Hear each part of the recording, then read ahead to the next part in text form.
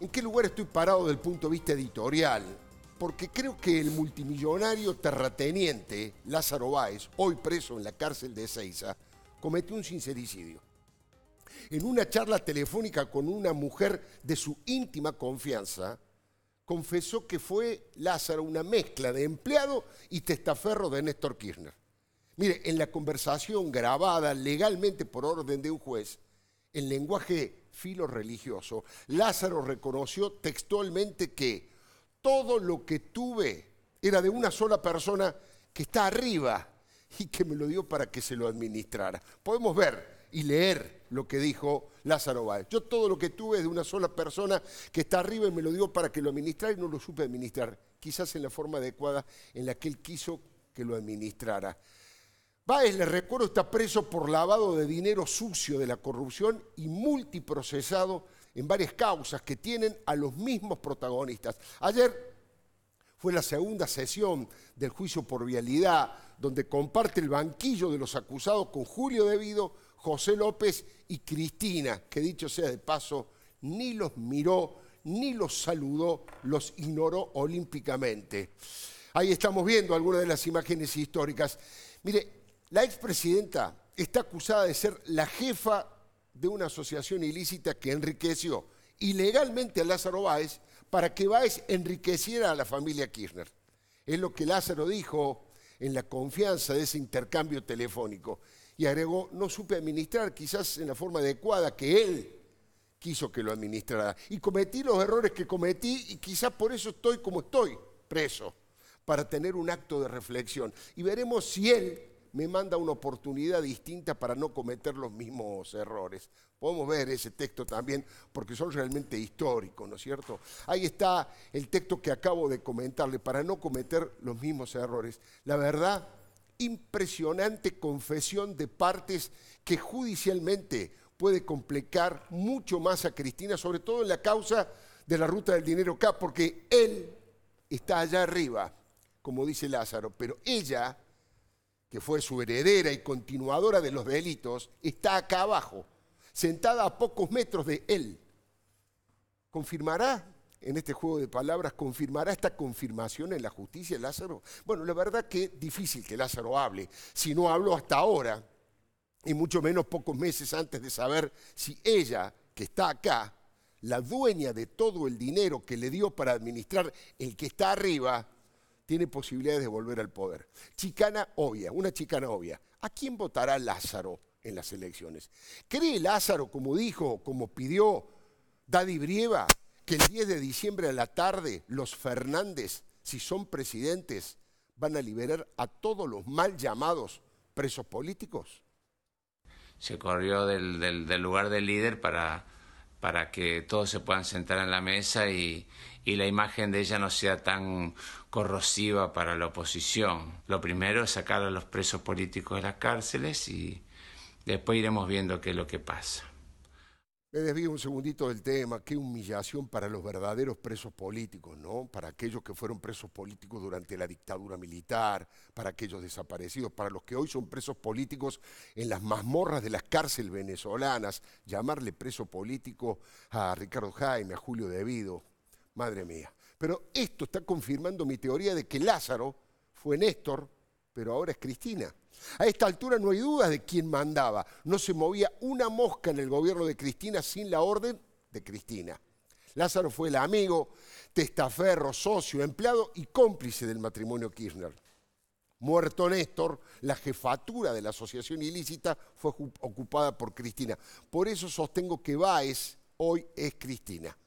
A esta altura no hay ninguna duda, el gobierno de la familia Kirchner fue el más corrupto de la historia democrática Mire, los del menemismo fueron vueltos, chirolas al lado de estas montañas de dólares y euros contados en maquinitas, transportados en bolsos y aviones y pesados en balanzas y en muchos casos depositados en el exterior. Martín Báez, el hijo mayor, fue uno de los actores principales en esta novela real de los patrones del mal que cuentan fortunas en la Rosadita mientras Jorge Lanata lo muestra y lo denuncia por televisión. ¿Se acuerda, no? Tal vez ese sea el peor error y el peor de los pecados. Lázaro Báez siguió el ejemplo de muchos otros corruptos del kirchnerismo y convirtió a sus hijos en delincuentes. Báez detonó a su familia.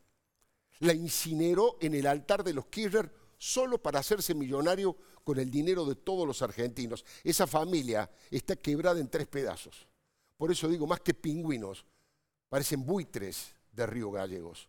Los que tienen niveles de codicia nunca vistos, los que son capaces de vender a la madre y a las madres de Plaza de Mayo por una caja fuerte llena de miserables billetes. Los Baez son socios de Cristina en el Hotel La Aldea del Chaltén. Baez Juniors es dueño del edificio y la expresidenta es dueña del terreno. En su momento el hijo de Tigre supo tener el 48% de las acciones de Valle Mitre, la empresa que administró tres de los cuatro hoteles de la cadena Kirchner Resort All Inclusive. Las dunas era de Lázaro, pero se lo vendió a Néstor en cómodas cuotas. En el Alto Calafate se hizo esa vergonzosa operación de los 14 millones que Lázaro le pagó a Cristina por habitaciones que jamás utilizaron. Insólito, ¿no? O son muy tontos o son demasiado vivos, o aplicaron el manual básico del lavado de dinero. Son impresionantes los hoteles, ¿no? Uno no deja de asombrarse. Las empresas de los Baez y los Kirchner batieron todos los récords de facturas truchas. Son las empresas que le compraron la casa en Río Gallegos a los Kirchner a precios sobrevaluados y con papeles subfacturados, o los que le pagaron alquileres por encima del mercado en varios departamentos de los CA. Incluso aparece una compañía de taxi aéreo, Top Air, en uno de cuyos vuelos viajó Leonardo Farini, el valijero arrepentido que contó todo con una precisión de relojería. Él era lo que era por Néstor, que el negocio era de él con Néstor, que él era funcional a Néstor, que Néstor era su amigo, que él guardaba a Néstor. A ver, ahora me es simple, me, es simple decirte que yo, lo que yo puse en una lo que yo manifesté en, reiteradas declaraciones indagatorias. Esto no lo estoy diciendo ahora a raíz de que, de que surge esto. No es ninguna novedad, ¿eh? No es ninguna novedad. Hasta en el propio mausoleo está una placa allí donde Lázaro Báez le rinde homenaje a su amigo Néstor. Pero esta gente son chorros de cuarta. Son ladronzuelos que le robaron las migajas a los verdaderos ladrones de guante blanco. Son los perejiles de un supermercado repleto de dinero como que se guardaba en las bóvedas de Lázaro, que luego por la gracia de Dios y como por arte de mafia recicló en bodega. ¿Se acuerdan? No? Ahí lo estamos viendo. Los muchachos de la agrupación Lázaro Báez para la Victoria y la fortuna de Cristina pusieron al Estado al servicio del enriquecimiento ilícito de la familia presidencial revuelve el estómago de asco moral. Como dijo Elisa Carrió, nunca presentaron balances y los dibujos son groseros directamente. Alguna vez escribí que Lázaro era el Alfredo Yabrán de los Kirchner, un mafioso todoterreno. Hay muchos misterios que, que develar en el caso más espectacular de movilidad social ascendente de toda la historia. ¿Escuchó? Lázaro Báez pasó de empleado bancario a megamillonario y fue en apenas 10 años, en la década ganada por los Kirchner, sus amigos y sus cómplices. Lázaro se levantó y anduvo. Prometieron distribuir la riqueza y la distribuyeron, pero entre ellos la distribuyeron. La verdad que uno se pregunta a esta altura, ¿quién es Lázaro? ¿Qué papel cumplió en el ladri progresismo feudal? Es el terrateniente más grande del país después de Benetton Escuche bien, por favor, esto porque no termina de indignarme y uno no termina de creerlo. 418 propiedades y estancias que en tamaño, todas juntas, son igual a 13 veces la capital federal. ¿Escuchó bien? Imagínese el tamaño de la capital federal y las propiedades de Lázaro son 13 veces el tamaño de la capital federal. Esas son las tierras que nos robaron los Kirchner y los Baez y encima hay dos lujosos aviones que en realidad eran tres y uno se incendió sospechosamente. Y siguen las estafas. Es interminable la lista de bienes y billetes que robaron. Récord Guinness. Por eso los Kirchner están entre los más corruptos del planeta. Mire, Lázaro tiene la flota de vehículos más grande del país. No hay ni siquiera empresas de transporte que tengan 1.279 vehículos como tiene él y además una colección de autos negros de alta gama que ni la mafia napolitana. La parte más bizarra de su historia es que fue el constructor, el donante y el vigilador en retiro efectivo del faraónico mausoleo de Néstor Kirchner. Ahí estamos viendo la histórica foto. Alberto Fernández, antes de reconciliarse con Cristina, utilizó esta foto para decir, esa foto lo explica todo. ¿Ustedes vieron salir del mausoleo a Cristina, a Máximo y a Lázaro? Eso dijo Alberto Fernández antes de ser candidato a presidente ungido por Cristina. Ese monumento a la corrupción y la desmesura es monitoreado online por Cristina desde donde ella se encuentre. Es el primer lugar que visitó Alberto Fernández como candidato a presidente. La verdad que es todo un dato. Es un mensaje clarísimo. Tiene su simbolismo. La noche en que Néstor Kirchner se murió, había estado cenando con Cristina y con quién más? Con Lázaro Báez. Mire, según el Evangelio, Lázaro de Betania ya estaba muerto y sepultado, pero llegó Jesucristo, que era su amigo, y lo resucitó en un instante con una frase. Lázaro, levántate y anda. Este Lázaro, de estos tiempos de cólera, se parece más a otro personaje bíblico que es casi su contracara, a Poncio Pilatos, el que se lavó las manos y con ese gesto selló la condena a muerte de Jesús. Es el símbolo del oportunismo, la vileza y la traición. Todos los trámites que tuvieron que hacerse en el exterior arrojaron resultados positivos porque en Suiza y en Panamá, entre otros países, se encontraron cuentas y millones de dólares sucios de la corrupción que fueron lavados. El colmo es que un banco suizo, es tragicómico, un banco suizo accedió a abrirle una cuenta a Lázaro porque en el informe que pidieron confirmaron que era testaferro de Néstor Kirchner. Eso les dio seguridad. La información dura y pura dice que Lázaro recibió 52 contratos por la friolera de 46 mil millones de pesos que al precio de hoy, al valor de hoy, superan los 130 mil millones de pesos. Todo eso ocurrió durante el reinado de la dinastía K. Austral Construcciones se fundó 12 días antes de que Néstor jurara como presidente. Los Kirchner y los Baez formaron un concubinato para el delito. La convivencia fue obscena entre ellos. A Cristina y Lázaro Báez no los une él el amor, sino el espanto, por supuesto. Ella nunca lo quiso, pero hoy más que nunca uno está atado a la suerte del otro. Lázaro está en la cárcel y quiere salir, y Cristina está afuera y no quiere entrar, pero los destinos se cruzan. Y el punto más probable de encuentro es una celda en Ezeiza. Todos le llaman la jefa, y eso es cierto. Cristina es, fue y será la jefa, y más temprano que tarde va a tener que pagar por eso. Hay una celda de pocos metros cuadrados una cama y un inodoro que le están esperando. Lázaro se levantó y confesó, Baez es Cristina y Cristina es Baez. Eso nos tiene que quedar grabado porque es absolutamente cierto. Mire, el kirchnerismo es una enciclopedia de engaños y truchadas. Es muy difícil encontrar algo cierto en su discurso, pero la novedad es que ahora se está intentando instalar dos nuevas mentiras que son como dos caras de una misma moneda falsa que, como suele ocurrir, la acuñan los delincuentes y la hacen circular los honestos. La fragilidad de la memoria colectiva es la tierra fértil para que semejantes falsedades puedan tener algún viso de credibilidad. Una de esas mentiras dice que Néstor era bueno y que Cristina es mala. Y la otra asegura que Alberto Fernández es un dirigente razonable y prudente que va a ser igual que Néstor. Las dos son falacias grandes como el glaciar Perito Moreno el paso del tiempo hace que alguna gente y algunos periodistas compren estos buzones. Vamos por partes. Es cierto que Cristina hizo un desastre económico, multiplicó los mecanismos de corrupción de Estado y potenció un autoritarismo típico de un chavismo kirchnerista o del nacional populismo, como me gusta llamarlos. Pero ella no fue la que inventó, ella fue la continuadora de esa metodología del choreo, de la extorsión y la persecución a los disidentes. El jefe y el fundador de todo fue Néstor. Desde que fue intendente y gobernador hasta que llegó a la presidencia de la nación, lideró la asociación ilícita que produjo el robo del siglo y abrió la grieta que sembró el odio entre los argentinos. A las pruebas me remito. Parece mentira que haya que recordarlo, pero algunos ingenuos, y otros no tanto, repiten ese verso. Es cierto que Cristina fue la persona que más daño le hizo a la democracia y la que más daño puede hacerle si vuelve al poder. Pero todos los venenos los inventó Néstor. Todos. ¿Quién comenzó las relaciones carnales con Hugo Chávez? ¿Quién armó la contracumbre en Mar del Plata con Chávez y Diego Maradona? ¿Quién se repartió con Chávez 50 millones de dólares en efectivo producido de una estafa a los pueblos hecha con una bicicleta financiera aprovechando el dólar negro?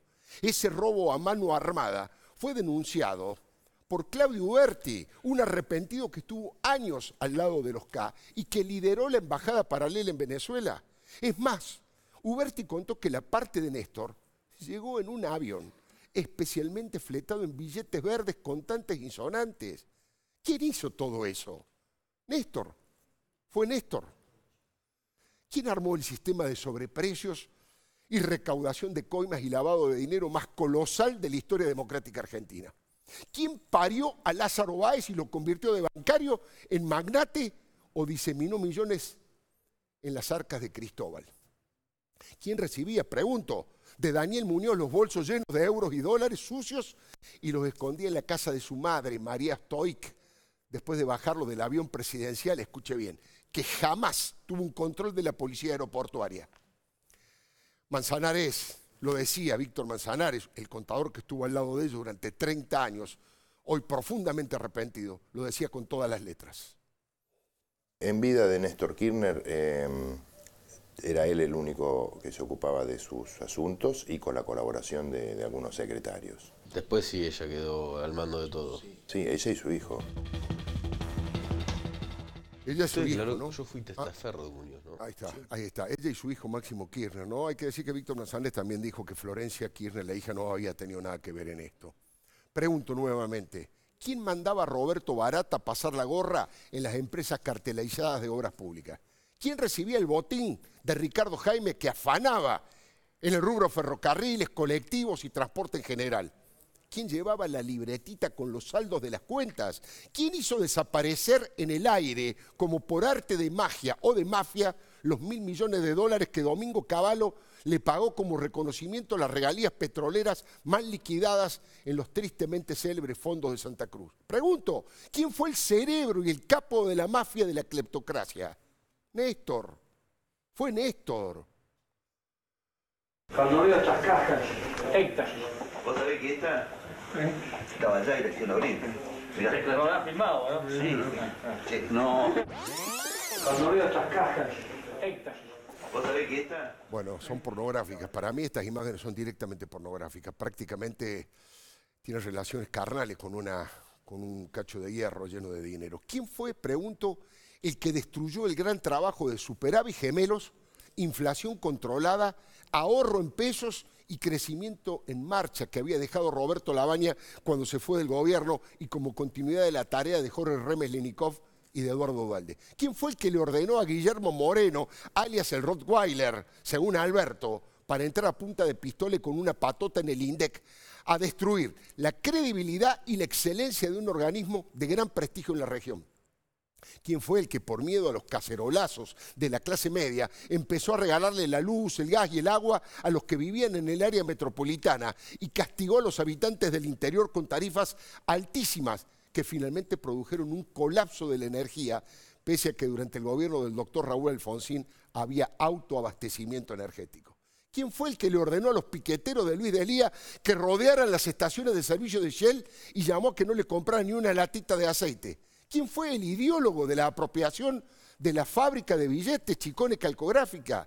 ¿Quién fue el que humilló a la Baña, forzó su renuncia y por eso empezó la decadencia de la economía? ¿Quién fue el que maltrató a la Baña porque denunció la cartelización de la obra pública? Néstor. Fue Néstor. ¿Quién fue el que quiso primero comprar y luego quebrar al grupo Clarín? El que instaló la frase Clarín miente o Clarín estás nervioso. Y fue tan cobarde para desafiar a simples mobileros o cronistas que ganaban modestos sueldos al decirle, yo sé quién te manda a vos, solo por hacer una pregunta incisiva. Pasó con Leonardo Méndez, que trabajó un tiempo durante bastante tiempo con nosotros y en ese momento estaba en Clarín y hoy está en Infobae.